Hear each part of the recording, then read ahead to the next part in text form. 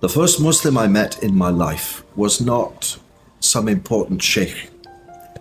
My introduction to Islam was not through reading a book about Islam or watching a TV program or listening to a sermon by a, a Muslim preacher. My introduction to Islam came from a little kid in the street cleaning shoes. And I walked past him one day and he saw my white skin. This little boy, he was thin and he was wearing little plastic flip flops on his feet. And he saw my white skin and he said to me, Assalamu alaikum.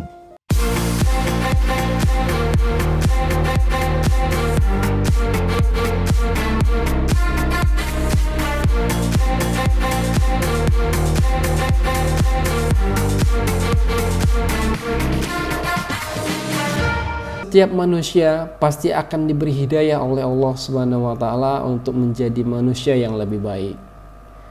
Bagaimana jika hidayah Allah turun kepada seorang non-muslim? Kali ini kita akan melihat bagaimana kisah seorang mantan pendeta bernama Idris Topik.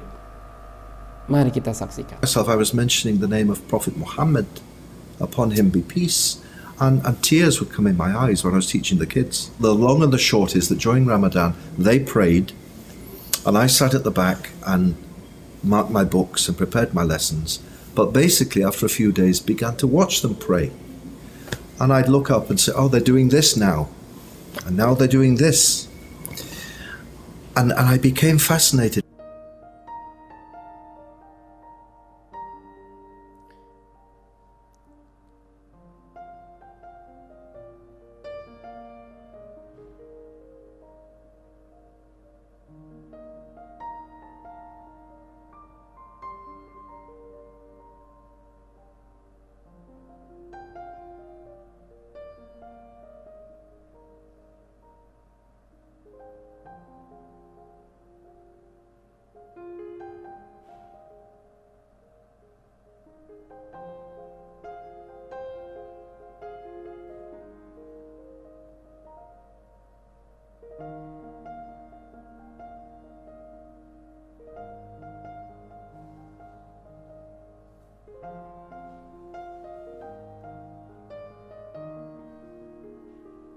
Why did I leave the priesthood? Not because I, I had any problem with the church. None at all. I was happy being a Catholic. And I had no plan to leave my religion. But Allah Almighty, this is very important. God Almighty speaks to us in different ways. He wants to bring us to Him. Some people, He speaks to them through sport, or through a beautiful sunrise, or through the words of the Quran, or through science. He spoke to me through my heart. Because as a priest, you know that priests in the church, they don't marry. And I was very lonely. I was lonely. And I made a very difficult decision. I didn't want to leave the Catholic Church, but I decided I would leave my job as a priest. So I left the church, I left the, the priesthood. And leaving the priesthood is like uh, a death and a divorce and your house burning down all rolled into one. It's a big deal. So I needed something to, to cheer me up, having left the priesthood. So I decided I needed a holiday. I had no money, so I went on the internet and looked for the cheapest holiday I could find. And the cheapest holiday I could find was a holiday to Egypt. Now, I knew nothing about Egypt sand, camels, pyramids. Oh, and just one other problem Muslims. I'd never met a Muslim in my life. All I knew about Muslims was what the television told me that they chop your hands off and that they blow themselves up and that they hit ladies. So I thought to myself, oh, this is a bit dangerous. If I go on holiday to Egypt, maybe I'll be kidnapped. Maybe these Muslims will, will seize me and chop my head off. But I, in the end, I said, well, I've no money, I've no choice. So I, I went. And that week on holiday in Egypt changed my life because for the first time in my life, I, I encountered I met Islam. White skin, this little boy, he was thin and he was wearing little plastic flip flops on his feet.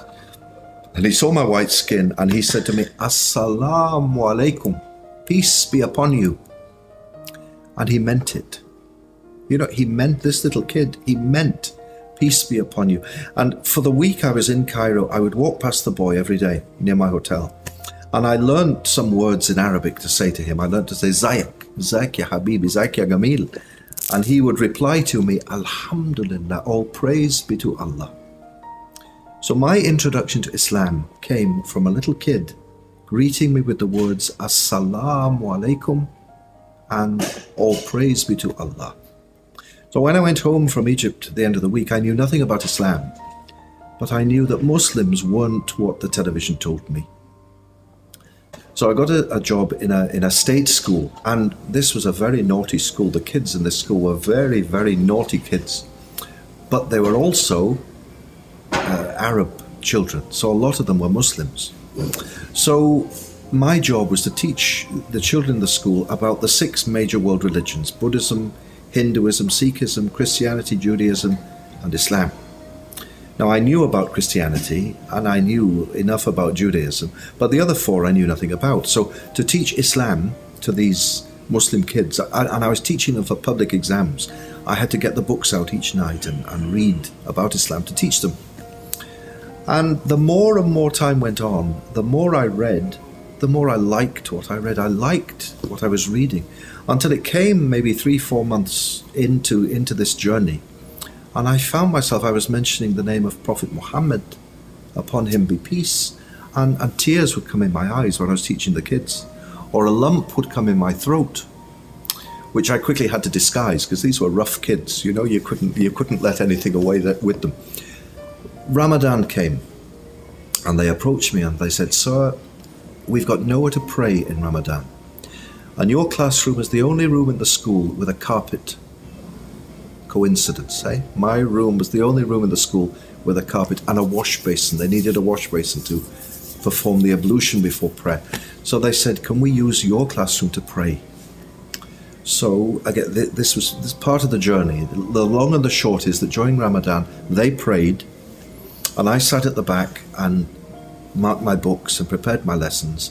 But basically, after a few days, began to watch them pray, and I'd look up and say, "Oh, they're doing this now," and now they're doing this. And, and I became fascinated and I went to the internet and without telling them, I learnt off by heart the Arabic words they were saying. So at the end of Ramadan, I knew how to pray. These kids had taught me how to pray. And as well at the beginning of Ramadan, when they'd said, Can we pray in your room? I said yes. But also I said, in solidarity with you, I'm not a Muslim, but I'll fast with you during the month of Ramadan. So at the end of that Ramadan, I'd learned how to pray and I'd fasted, not for Allah's sake, but I'd fasted to encourage the children's faith. So more and more months went by, and by this time I knew what Muslims were like. I knew they were good people, I felt comfortable with Muslims. So I began to go to London Central Mosque to learn more about Islam for myself. Not to teach, but for my own for my own heart and my own mind. And uh, the, the, the, the, final one of the talks there was given by Yusuf Islam, Cat Stevens, the, the famous singer. And at the end of his talk, I, I went up to him and said, Brother, what do you do to become Muslim? And he said, Well, I, I said, I don't want to be Muslim, but if someone wanted to be Muslim, what would you do? He said, Well, first of all, Muslims believe in one God. I said, Well, I've always believed in one God. He said, And Muslims pray five times a day. I said, Well, actually, I, I know how to pray in Arabic. And he gave me a very puzzled look. And he said, And Muslims fast during Ramadan. I said, Well, actually, I've, I've fasted in Ramadan for the whole month. And he looked me directly in the eyes. And he said to me, Brother, you are Muslim already. Who are you trying to fool? And with those words, Brother, you are Muslim already, who are you trying to fool? The call to prayer sounded in the mosque. Allahu Akbar for, for Salat al Maghrib. And everyone got up to go and pray in the prayer hall above. And, and I was like a drunken man. Because I could hear in my mind, Brother, who are you trying to fool? You're Muslim already. And then outside I could hear Allahu Akbar. And we went up to the prayer hall. And the brothers prayed in the hall and, and the sisters up above in the balcony. And I sat at the back against the wall when Salat al-Maghrib began. And it was as if, it was as if angels beyond number came into the mosque. It was just the most beautiful thing when the Quran began to be recited and I began to cry and I cried and I cried and I cried like a baby.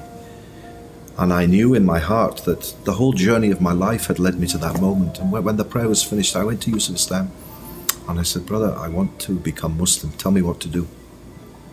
He said, Say these words after me. Say, Ashahadu an la ilaha illallah wa ashahadu anna Muhammadan Rasulallah. I bear witness that there's no created being worthy of worship but Allah. And I bear witness that Muhammad, peace be upon him, is his messenger. And then, of course, all the brothers greeted me, and it, it felt wonderful.